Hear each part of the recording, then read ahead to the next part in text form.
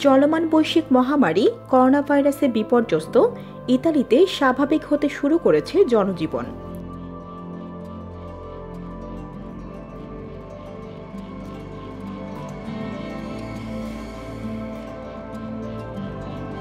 করোনার প্রকোপ কমতে থাকায় ধাপে ধাপে শিথিল করা হয়েছে লকডাউন। চালু হয়েছে ব্যবসা প্রতিষ্ঠান।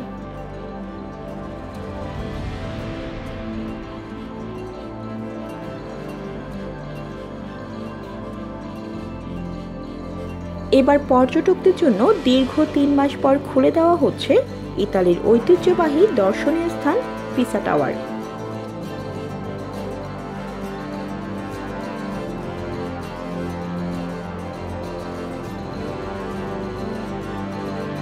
তবে পর্যটকদের জন্য কিছু নিয়ম জারি করা হয়েছে। হেলানো টাওয়ারটিতে একসঙ্গে পনেরো জনের বেশি দর্শনার্থী থাকতে পারবে না।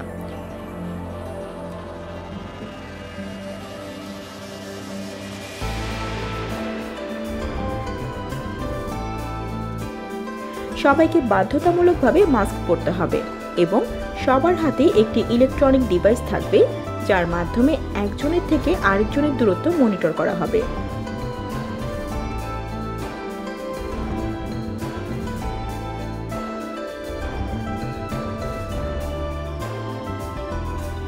কেউ এক মিটার কম দূরত্বে আরেকজনের কাছে গেলেই কর্তৃপক্ষের কাছে সিগন্যাল চলে যাবে।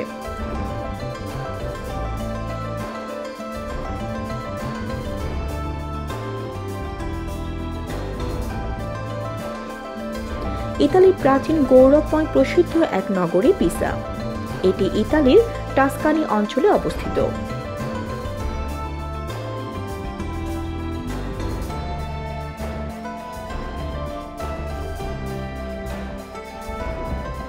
পিসা শহরে পনেরোশো চৌষট্টি সালের পনেরো ফেব্রুয়ারি জন্মগ্রহণ করেন জগৎ বিখ্যাত বিজ্ঞানী গ্যালিলিও।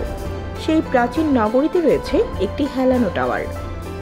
ইতালীয় ভাষায় টোরি ডিপিসা অথবা টোরি প্যান্ডেন্টি ডি পিসা।